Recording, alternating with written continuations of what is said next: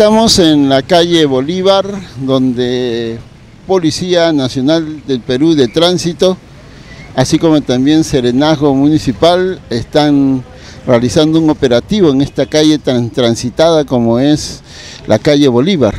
Ahí estamos viendo unidades de patrullaje integrado. ¿Cómo está el operativo?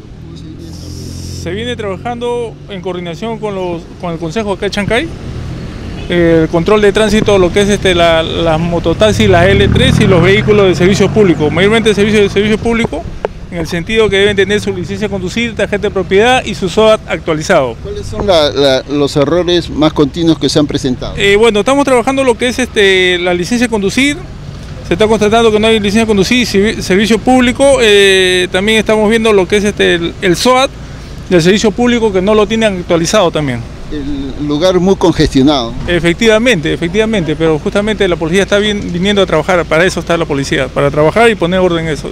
Los son inopinados. Efectivamente, señor, con coordinación con la División Policial de Guaral, Departamento de Tránsito, con coordinación con el Consejo Municipal y asimismo con la comisaría.